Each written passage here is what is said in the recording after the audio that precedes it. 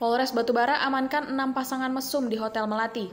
Enam pasangan yang bukan suami istri diamankan petugas saat berada di sebuah hotel yang terletak di Desa Tanjung Muda, Batubara, Sumatera Utara. Satu pasang di antaranya pasangan yang masih di bawah umur dan masih duduk di bangku sekolah. Razia yang dipimpin Kompol Henry Baru secara mendadak dan berhasil mengamankan para wanita malam dan pria hidung belang. Petugas juga menemukan alat kontrasepsi di salah satu tas milik pasangan tersebut. Menurut Kapolres Batubara AKBP Iwan Lubis, Kabak OPS langsung yang memimpin razia dadakan. Razia ini dilakukan karena maraknya pasangan yang bukan suami istri di hotel kelas Melati dan di tempat hiburan malam. Dengan rutinnya razia dilakukan dapat meningkatkan situasi Kamtipmas berjalan dengan aman dan kondusif.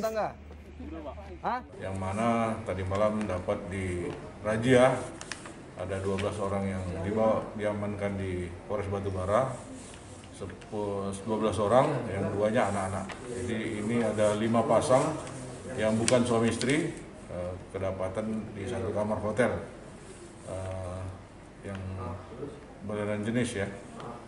Dan ini diamankan, dilakukan pembinaan, eh, dan kemudian dibuat pernyataan dan dipanggil yang anak-anak, dipanggil orang tuanya, dan dilakukan nasihat lah ya dari Batubara, Sumatera Utara, Tim Liputan Tribrata TV melaporkan.